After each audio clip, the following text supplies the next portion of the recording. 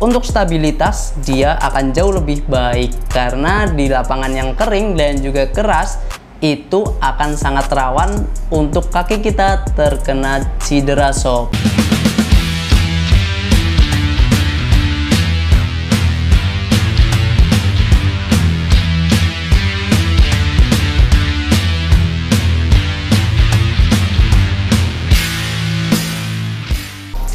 Sob, balik lagi di channel Sporty ID masih bareng gue Dimas Aji. Nah, kali ini kita akan mereview sepatu bola yang jarang banget nih ada di pasar Indonesia, yaitu sepatu dengan jenis outsole HG atau hard ground. Penasaran sepatunya apa dan apa sih fungsi daripada HG? Tonton sampai habis ya sob.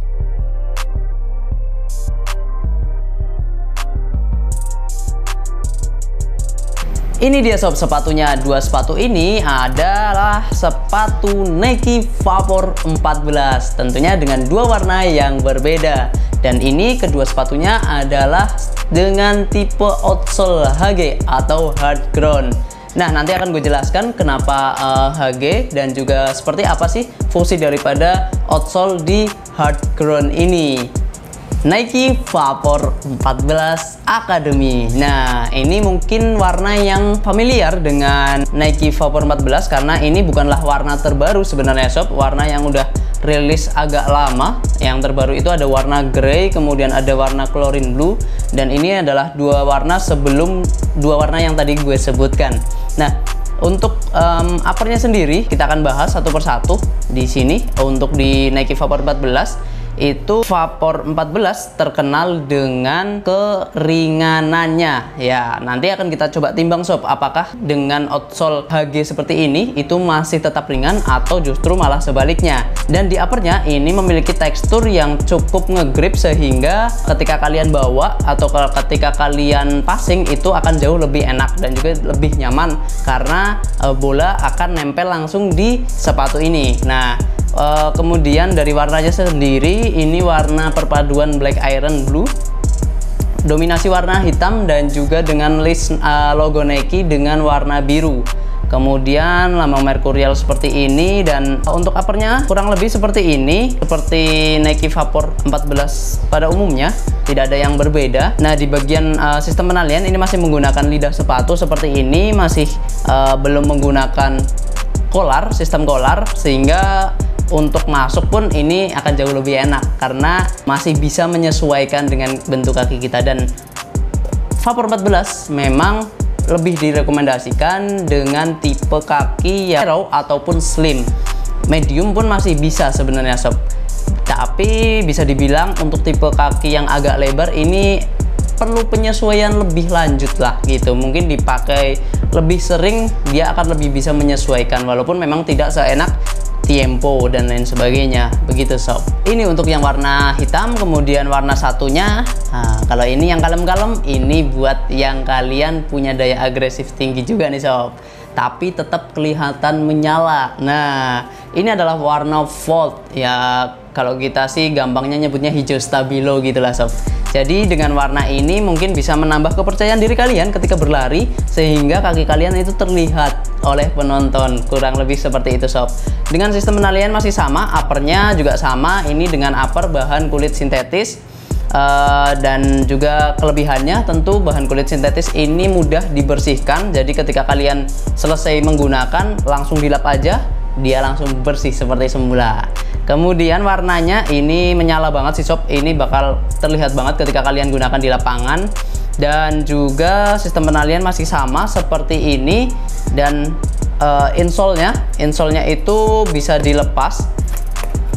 Insole-nya kurang lebih seperti ini dengan insole uh, Nike yaitu tidak terlalu tipis tapi juga tidak terlalu tebal ya cukup standar tapi juga cukup enak lah um, untuk memberikan apa namanya daya peredam di bagian tumit dan juga bagian depan kaki kalian Nah, sekarang kita akan bahas bagian outsole-nya. Tadi kan udah kita bahas bagian sistem penalian, upper, dan juga insole-nya nih sob. Nah, uh, di bagian outsole-nya sendiri ini didominasi dengan stud ataupun full molded seperti ini sob. Nah, fungsinya adalah karena dengan lapangan yang keras dan juga kering, dia akan lebih mencengkram ke dalam tanah sehingga untuk stabilitas dia akan jauh lebih baik karena di lapangan yang kering dan juga keras itu akan sangat rawan untuk kaki kita terkena cedera so. Kemudian kita akan coba bandingkan apakah perbedaan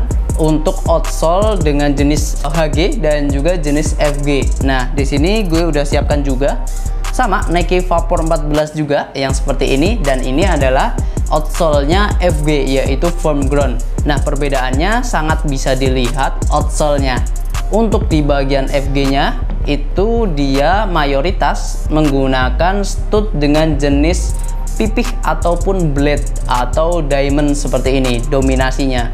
Karena memang ini peruntukannya untuk lari dan juga untuk um, apa ya akselerasi sehingga menusuk-nusuk jantung lawan itu lebih enak dengan foam ground seperti ini. Tapi untuk di sepatu Hagi sendiri dia lebih mengutamakan stabilitas. Karena tadi lapangan yang keras dan juga kering itu sangat-sangat rawan untuk kaki kita.